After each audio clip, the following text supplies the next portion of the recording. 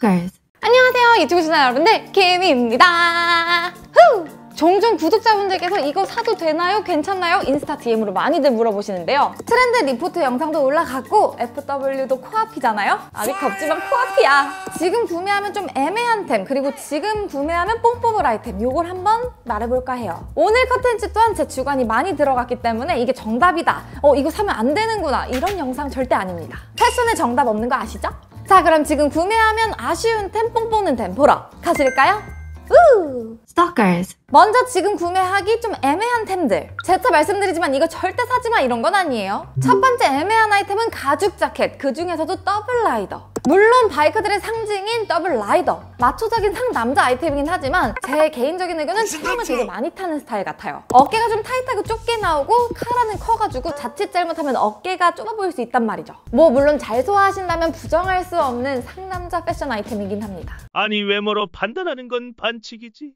하지만 지금 시점에서 가죽 자켓을 구매하신다면 살짝 루즈한 스타일의 스웨이드 leather 자켓들이 제가 신상 둘러보고 왔는데 많이 나오더라고 스타일은 블레이저, work 자켓, 블루종 요런 류로 추천드려요 leather가 기가 좀 세 보일 수 있는데 요런 스타일들은 조금 기가 약해지니까 좀 입기 편하더라고요 대신 real leather면 진짜 비싸긴 할 거야 다음 애매한 아이템은 찢청 damage 청바지들 작년 grunge core가 뜨면서 다양한 브랜드에서 washing 빡 damage 빡 이런 바지가 많이 나왔는데요. 아직까지 트렌드적으로 지는 아이템이다 하긴 그렇지만 특히 과하게 찢어져서 살이 좀 훤히 보이는 그런 스타일. 그런 스타일은 street 코디를 좋아하지 않으신다면 영입으론 추천드리지 않을게요. 오히려 요즘은 캐주얼도 소화 가능한 아주 살짝 damage 혹은 찢어졌어도 살이 보이지 않도록 안감을 덧대준 스타일 아니면 패치워크로 포인트를 준 제품들이 좋은 것 같아요. 포인트 바지로 damage 스타일은 싫다. 그러면 stud나 gem으로 포인트 준 바지들로 대체하시면 어떨까요? 다음은 crop tapered 바지 fit. 아직까지 루즈한 바지 트렌드가 쭉 이어지고 있는데 기억나세요? 우리 3, 4년 전만 해도 crop tapered의 Chelsea boots 이 룩 많이 유행했었거든. 물론 우월한 신체 조건으로 지금도 그 fit을 우월하게 소화하시는 분들이 계실 수 있죠.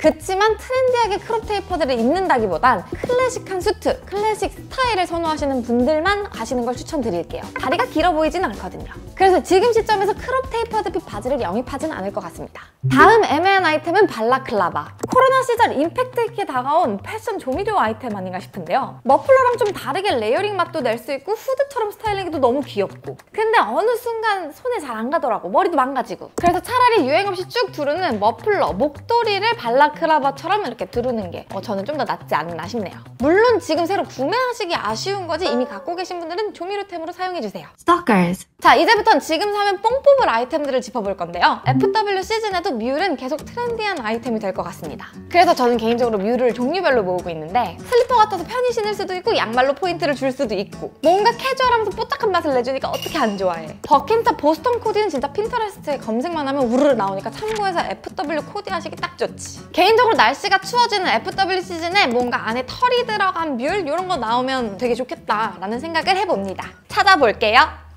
다음 영입 아이템은 타이. 그 중에서도 너무 두껍지 않은 슬림한 스타일의 타이들. 작년부터 스멀스멀 올라오더니 올해는 진짜 진짜 많이 보였어요. 어느 순간부터 타이가 formal한 아이템이 아닌 패션 조미료처럼 셔츠 위에 얹어지는데 formal에서 캐주얼까지 두루두루 활용할 수 있는 패션 아이템이기 때문에 지금 영입해도 된다. 뽕 뽑을 수 있다. 입문은 아무래도 무채색으로. 그러다가 나만의 개성을 표현할 수 있는 내 스타일인 타이 모으는 재미도 있지 않을까요? 다음 아이템은 big bag. big size bag. 예전엔 한창 남자분들 mini bag 유행했던 거 아시죠? 이번에는 big size로 big big 확실히 가방 사이즈가 커진 만큼 수납력도 좋아질 거고 눈에 확 띄니까 포인트 주기 좋더라고요. FW 시즌 특히 옷이 겹겹이 두꺼워지는 만큼 옷 부피감에 비해 옹졸하지 않은 사이즈의 가방 시원시원하니 보기 좋더라. 당연히 기존에 갖고 계시던 사이즈의 backpack, cross bag 다 메고 다니셔도 돼요. 하지만 새로 하나 영입을 해야 된다 하시는 분들은 big size 추천드려볼게요. 마지막 뽕 뽑을 아이템은 key ring. 각구, 벨트꾸 할 수 있는 key ring들. 많은 멋쟁이 분들이 벨트에 개성을 표현할 수 있는 key ring들을 주렁주렁 메고 다니는데 이제 없으면 허전할 정도예요. 정말 다양한 스타일의 key ring들이 나오고 있고 정말 작은 부피감으로 내 개성을 표현할 수 있으니까 크게 표현 못하더라도 작게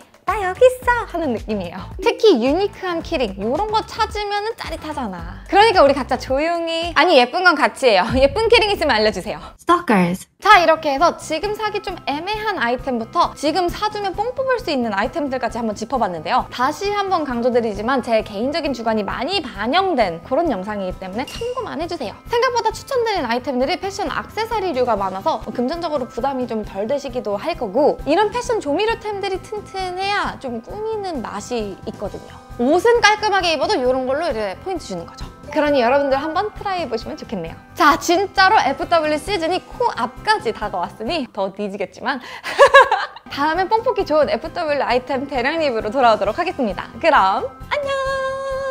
FW 빨리 와라! 신난다.